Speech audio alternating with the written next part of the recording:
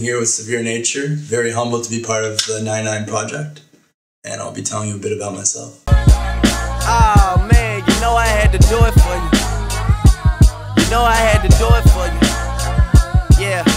Suits and ties yelling out. I've worked for Hypebeast. I've worked for Hip Hop Canada. I'm still currently I'm working for Hip Hop Canada. Uh, as a college reporter, I've worked for the Algonquin Times, Glue Magazine. I've freelanced for Metroland, and uh, I've interned as a junior war correspondent in Beirut in 2013. And today, I'm you know I'm at a very milestone point of my career, and I think this you know there's no better time to be sitting here with an Ottawa brand that continues to push the envelope and talk about myself. That's actually, I don't know, I've always wanted somebody to ask me that, what kind of artist I am, because I've never really felt I had the opportunity to really say it in person or like on a personal level. Because, you know, a lot of people do perceive me, they think I'm a photographer or, and they kind of, they, that's not really what I want to be known as. Actually, I don't want any label to kind of be put under or be categorized by. I'm an artist by nature, and I just so happen to be, you know, a journalist and photojournalist by trade. And actually, I'm a photographer by mistake, if you want to call it anything. You know, I, I picked up a DSLR by mistake because my school forced me to. And I mean, it just stuck with me. I've taken it this far. And actually, another thing I wanted to say was, you know, when artists in the world, whether you're, you know, a painter, a musician, or what have you, try and kind of go past their boundary and try and do something else, that's when, you know, they kind of get bashed for. They kind of get bashed for it by society. So yeah, I'll keep it. I'm, I'm, an artist by nature, and my trades are secondary. Hashtag iPhone only. It's exactly what it, like what it means. I didn't start the trend. Like it's there's iPhone only. There's like Samsung has IGers and whatnot. It's basically iPhone only in its true technical form is a phone is a picture that's never left your iPhone. It was taken on your iPhone. It was edited on your iPhone, and it was shared on your iPhone, whether it be through Tumblr or in my case, Instagram.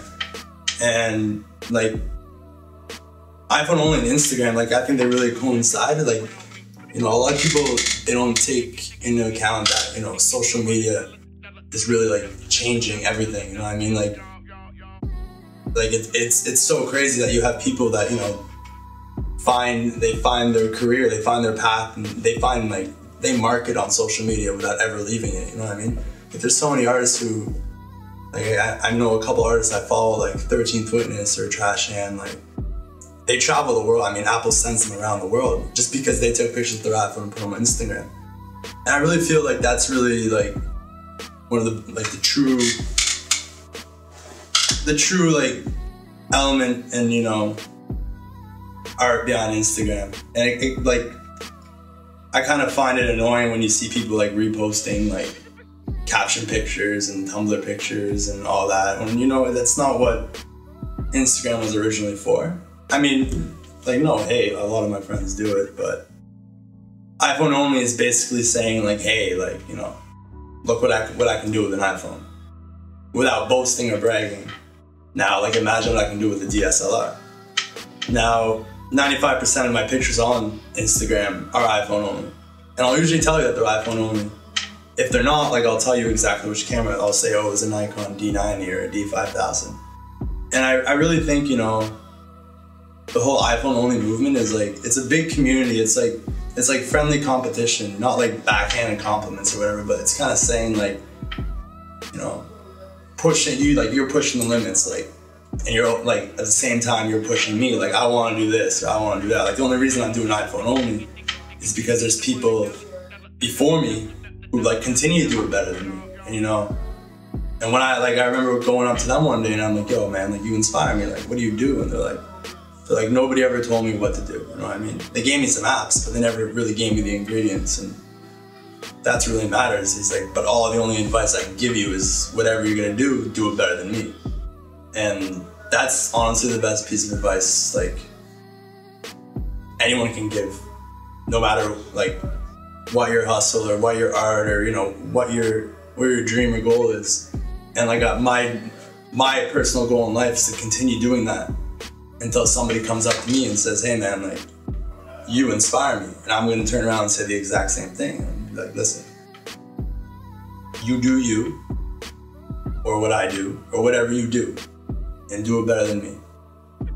But until that day comes, like you know, no breaks, no vacation. So. Yeah.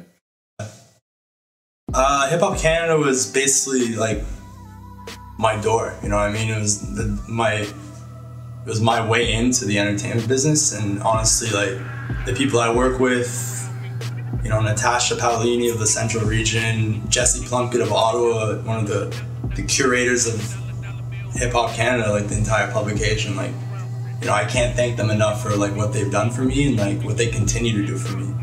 And it's one of the reasons why, like, no matter what, I- I'm never gonna leave Hip Hop Canada. You know, it's a family and it's Canadian, and you know, it's it's for the people. And you can ask anyone in Canada about our credibility, even in New York, even in LA. We got offices there, and you won't hear a bad thing about Hip Hop Canada.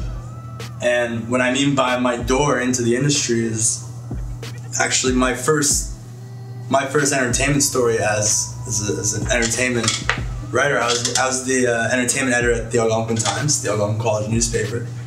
And someone came my way and said, "Hey man, like, do you want to cover Juno Week?" And I was like, "It's like, yeah, sure, whatever. It's just another assignment."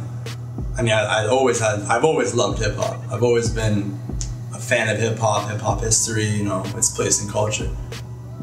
But Classified? I'm like, yeah, Classified's playing. I'm like, yeah, it's been a minute. Like, I haven't heard of Classified in a minute. You know what I mean? He's playing at Juno Week, he's playing in Ottawa. Can I interview him? That's what I want to know. I can write a story covering the show, that's boring. You know, anyone can go to a show and cover a show. You don't got to be upstage or side stage. You can just watch it essentially and cover it. And it was at that moment, you know, I remember.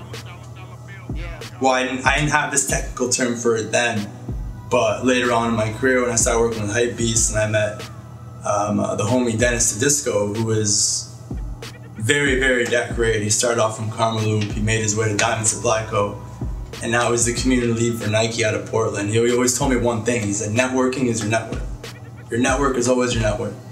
And that, you know, that attitude is is so true in multimedia and in multimedia anything, especially with the social media boom. It's like it's all about who you know.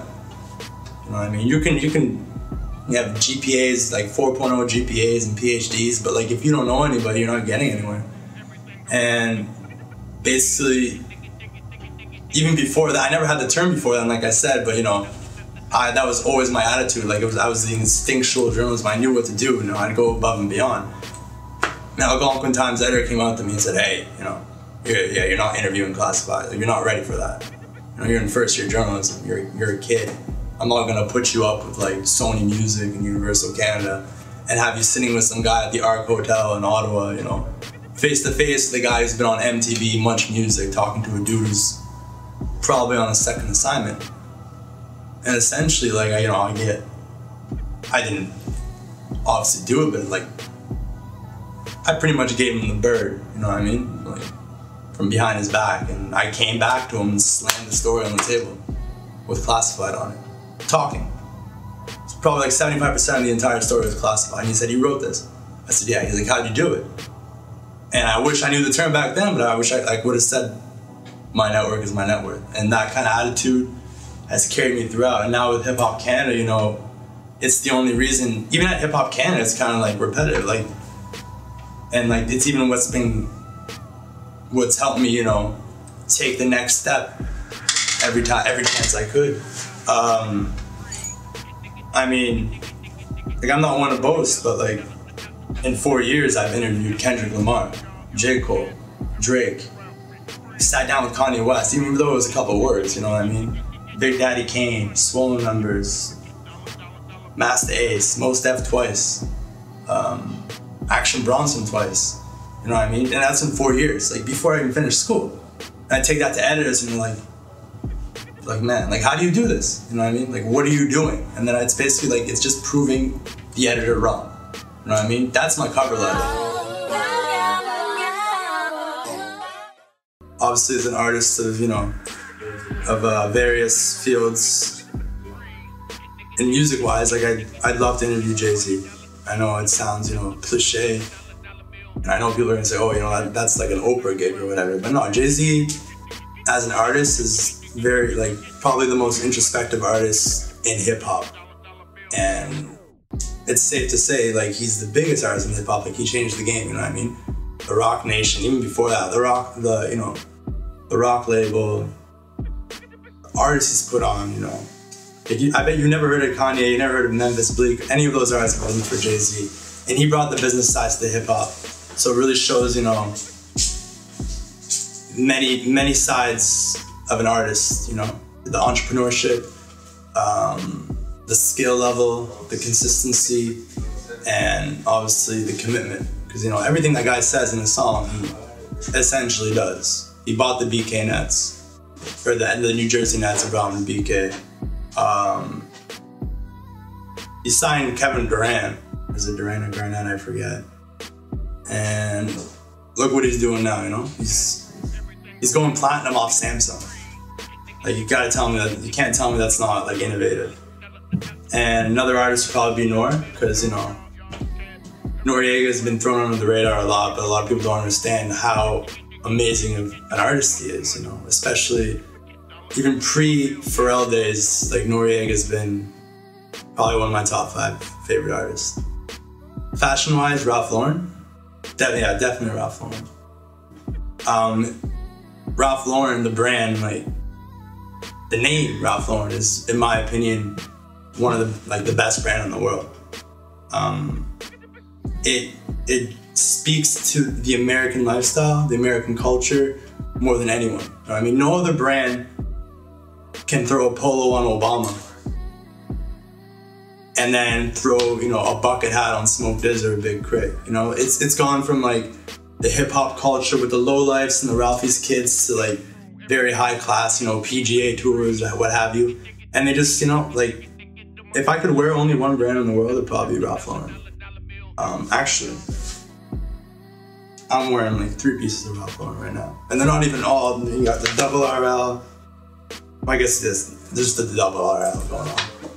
But I'm not saying in terms of collaboration, I just like to work under the wing of like anything to do with Ralph Lauren because personally, like, I can tell you so many stories where that brand has kind of defined what I've done in life or it's, you know, the stories it holds in my life. You know, I, mean? I can pick up a pair of Selvedge denim and I can tell you, know, I sat behind like an 85 SL Benz in Beirut wearing these jeans, dodging bullets, and I saw one hit my DSLR.